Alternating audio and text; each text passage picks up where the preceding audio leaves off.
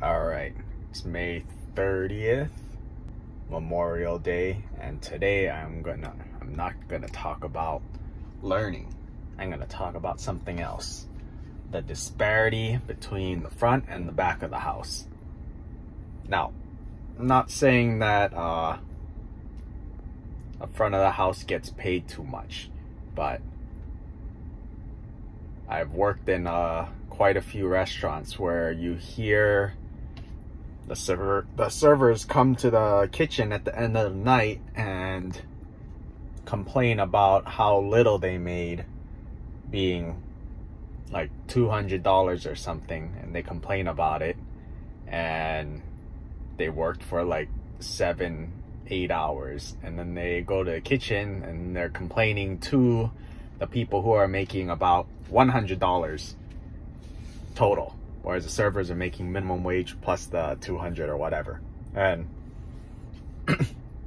if you think about how uh, a restaurant functions in general you normally you aim for as an owner you aim for let's say 30% food cost 30% labor cost 30% so at the end of the day you make 10% profit margins. And that 10% is with all of the risk and all the like everything that comes with being an owner which is like your startup capital having to know enough knowledge about things, being the first person that gets called when something goes wrong. Uh, it's the whole thing of being an owner, and you get 10%. And then servers, they just get to swoop in and let's say you have two two servers for a night, they get to split 20% off of the top. So they make essentially 10% each if they split it right down the middle. So they come they would come in for let's say six to eight hours and then they get they make the same amount of money as a owner would which is and i know it's different for every type of restaurant and all that stuff but it like yeah I mean, if you if you owned a massive restaurant that had like 50 employees or whatever, then proportionally that means you probably invested multiples more than a small restaurant. And there would be more servers, so you would get diluted more ways, but you would still get a let's say there's five servers instead of two, then you would get 4% each. But that's 4% of an increased volume of sales. So, yeah. yeah uh servers work very little they they work like full-time or less and cooks in general they work like 8 to 12 hours and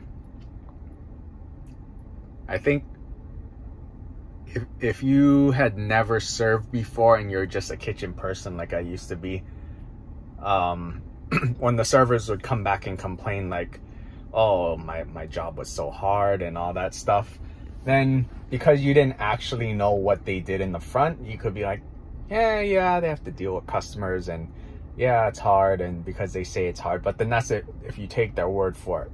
But if you actually have done both jobs you know for a fact that serving is a lot easier physically than cooking it's hot it's heavy. It's all that stuff in the kitchen.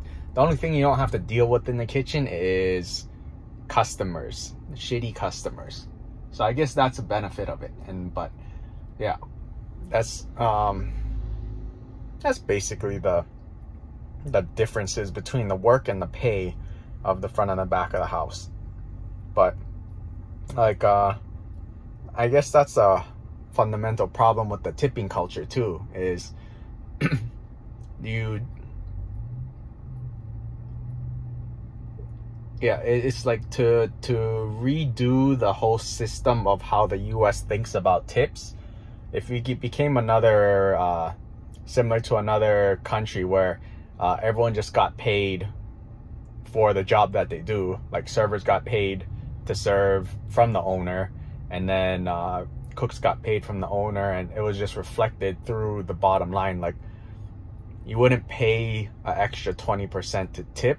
It would just be baked into the base cost of the menu. If that was the case